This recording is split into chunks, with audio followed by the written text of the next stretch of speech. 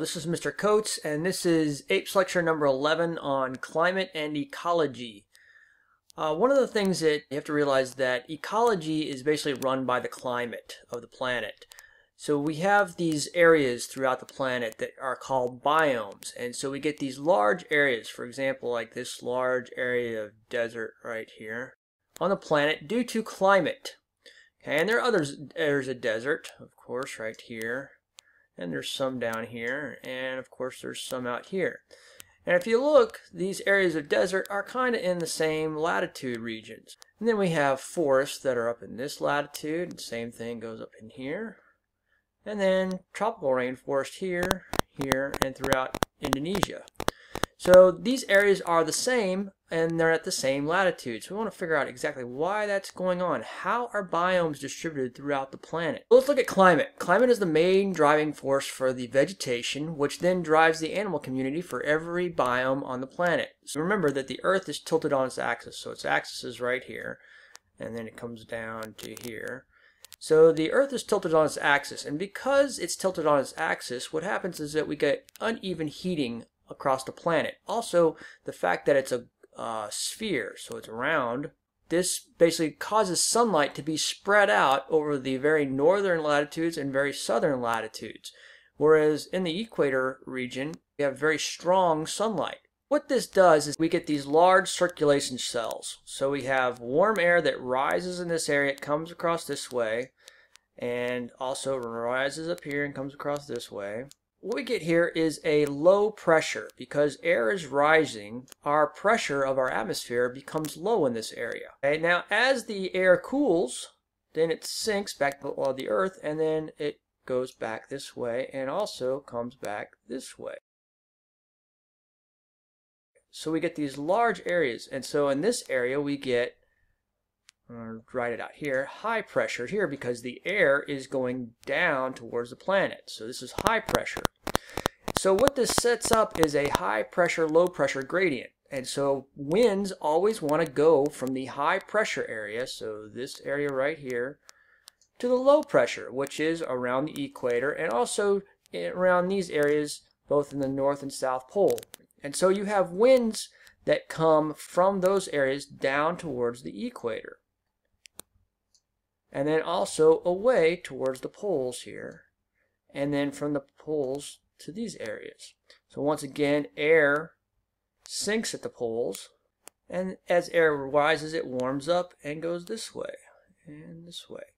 So we get these large circulation patterns. Now the ones closest to the equator are called Hadley cells after the guy who discovered them. This sets up wind patterns across the globe, these wind patterns. And if the globe was not spinning, these winds would be straight. However, the globe is spinning, so then that causes a difference in our wind directions.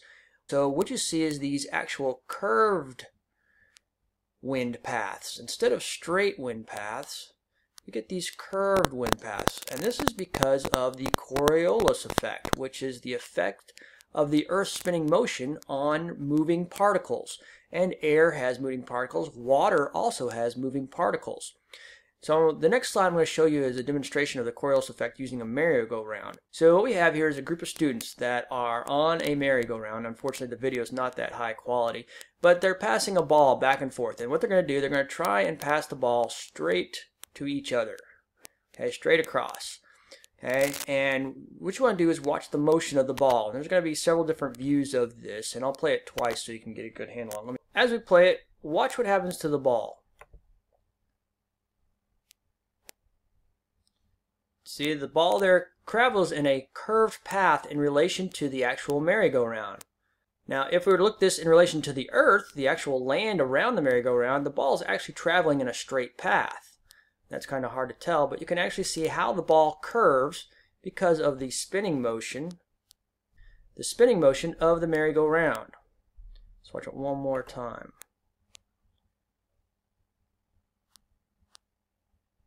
And so wind particles and water particles follow this same kind of path depending on how uh, the Earth is moving. So if we look at water currents, ocean currents are very important in climate as well. And like I said, because of the Coriolis effect, these water currents also travel in curved paths.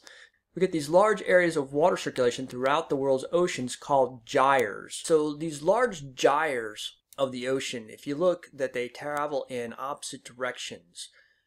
And so in the northern hemisphere, they go clockwise, and in the southern hemisphere, they go counterclockwise. This is the same for the wind patterns. So wind patterns are deflected to the left in the southern hemisphere and deflected to the right in the northern hemisphere.